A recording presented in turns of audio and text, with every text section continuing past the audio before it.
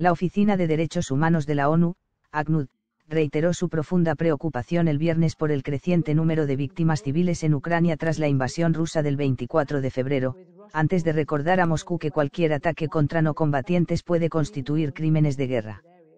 Civiles están siendo asesinados y mutilados en lo que parecen ser ataques indiscriminados, con las fuerzas rusas usando armas explosivas con efectos de área amplia en o cerca de áreas pobladas, dijo Liz portavoz de ACNUD, hablando en Ginebra. Estos incluyen misiles, proyectiles de artillería pesada y cohetes, así como ataques aéreos. 15 días después de iniciada la guerra, escuelas, hospitales y guarderías han sido alcanzados por bombardeos, dijo Trossel, y agregó que también se usaron bombas de racimo en varias áreas pobladas. Hasta la medianoche del 9 de marzo, el ACNUD registró 549 civiles muertos y 957 heridos en Ucrania, pero el conocimiento de que se han tenido que cavar fosas comunes para enterrar a los muertos indica que la cifra real es probablemente mucho mayor. Trossel dijo el 3 de marzo que 47 civiles murieron cuando los ataques aéreos rusos alcanzaron dos escuelas y varios bloques de apartamentos en Chernihiv. Agregó que el 9 de marzo, un ataque aéreo ruso golpeó el hospital número 3 de Mariupol hiriendo al menos a 17 civiles, y agregó que el ACNUD todavía estaba investigando los informes de que al menos tres civiles podrían haber muerto en el ataque aéreo. El portavoz de la OACNUD dijo que diferentes fuentes en Mariupol, incluidas las autoridades locales, indicaron que el hospital estaba claramente identificable y operativo cuando fue atacado. La Organización Mundial de la Salud, OMS, también condenó los primeros informes de un ataque de las fuerzas rusas en un hospital psiquiátrico cerca de Kharkiv. Solo hay informes de esta mañana de las autoridades de Kharkiv de que, un, instituto psiquiátrico ha sido atacado. Si esto resulta ser cierto, sería otro efecto sobre la salud en Ucrania, dijo Tarik Hasarevik, portavoz de la OMS, hablando desde el Lviv, en el oeste de Ucrania.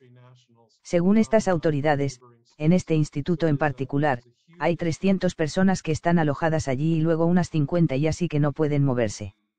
Hasta la fecha, la OMS ha confirmado 26 ataques a instalaciones de salud, que han resultado en 12 muertes verificadas, incluidos dos trabajadores de la salud, y 34 personas heridas. Condenando todos estos ataques contra civiles e infraestructura civil, Trosel de Aknud envió un mensaje directo a Moscú, recordamos a las autoridades rusas que dirigir ataques contra civiles y bienes civiles, así como los llamados bombardeos en pueblos y aldeas y otras formas de ataques indiscriminados están prohibidos por el derecho internacional y pueden constituir crímenes de guerra. Con más de 2,5 millones de refugiados de la guerra que ahora se refugian fuera de las fronteras de Ucrania, el portavoz de la Agencia de Refugiados de la ONU, ACNUR, Mateusz Altmars, explicó cómo se inició una operación de ayuda humanitaria masiva dentro del país. En el centro y oeste de Ucrania, todavía estamos operativos, dijo, hablando desde Ercesov, Polonia. Señaló que ahora hay al menos 2 millones de desplazados internos dentro del país y otros 12,65 millones de personas directamente afectadas por el conflicto, que están lidiando con temperaturas bajo cero. El portavoz de ACNUR agregó que las existencias preestablecidas y los artículos básicos de socorro entrantes estaban listos para su distribución en varios lugares del país. La Agencia de la ONU para los Refugiados también abrió almacenes en Vinitsia, Uzorod y Chernivtsi, junto con dos en Lviv. El acceso a las comunidades afectadas por el conflicto en ciudades como Mariupol y Kharkiv está muy restringido debido a las actividades militares en curso y la mayor presencia de minas terrestres, lo que exacerba las necesidades humanitarias día a día, explicó Saltmars. Señaló que el personal del ACNUR sobre el terreno se vio envuelto en los combates, al igual que la población civil. Dijo que se necesitan con urgencia alimentos, agua, medicamentos, atención médica, refugio, artículos básicos para el hogar, mantas, colchones, dinero en efectivo, materiales de construcción, generadores y combustible entre los que buscan seguridad lejos de los bombardeos y bombardeos en Ucrania, unos 116.000 ciudadanos de terceros países han logrado abandonar el país, según la Agencia de Migración de la ONU, la OIM. Docenas de nuestros Estados miembros se han comunicado en los últimos días, solicitando más de 14.000 devoluciones de ciudadanos de terceros países desde los estados vecinos. Entonces, es un gran problema, dijo Paul Dillon, portavoz de la Organización Internacional para las Migraciones. El desarrollo se produce cuando el Programa Mundial de Alimentos, PMA, de la ONU lanzó alarmantes implicaciones para la seguridad alimentaria mundial debido a la guerra en Ucrania.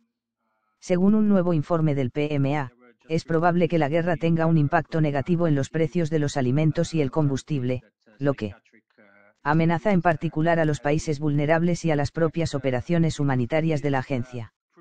Haciéndose eco de esas preocupaciones, la Organización de las Naciones Unidas para la Agricultura y la Alimentación, FAO, advirtió el viernes que los precios internacionales de los alimentos ya habían alcanzado un máximo histórico antes de que la invasión rusa de Ucrania conmocionara a los mercados internacionales.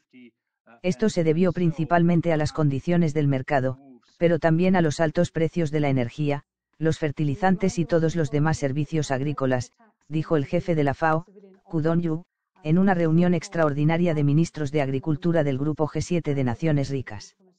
El índice de precios de los alimentos de la FAO reflejó esto en febrero de 2022. Cuando alcanzó un nuevo récord histórico, un 21% por encima de su nivel del año anterior y un 2,2% más que su máximo anterior en febrero de 2011.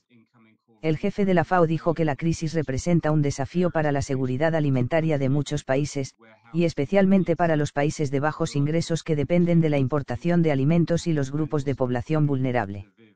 Según la FAO, las exportaciones de trigo de Rusia y Ucrania representan alrededor del 30% del mercado mundial, mientras que sus exportaciones combinadas de aceite de girasol representan el 55%. Ambos países también son destacados exportadores de maíz, cebada y aceite de colza, y Rusia es un exportador clave de fertilizantes, clasificándose como el principal exportador de fertilizantes. Nitrogenados en 2020, el segundo proveedor líder de potasio y el tercer exportador más grande de fertilizantes de fósforo.